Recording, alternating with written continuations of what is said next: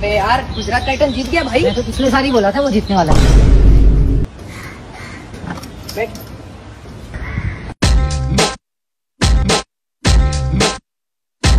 अरे भाई उतर एक मिनट उतर। हाँ एक सेकंड एक सेकंड अरे अरे देखना टायर में हवा कम है क्या? नहीं रे बराबर है हवा। बराबर है। बैठ बैठ बैठ।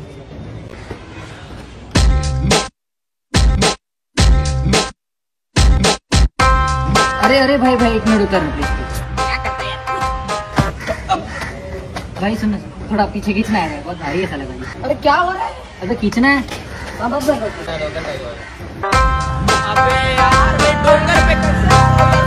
अबे यार उतर उतर यार एक मिनट। उतर उतर जल्दी अबे फिर से. अबे क्या हो रहा है? अबे हेलमेट ही भूल गया यार। इधर ही रुकना दो मिनट में जल्दी आ। तेरी आँखें भूल भुलैया बातें हैं भूल भुलैया। तेरे सपनों की गलियों में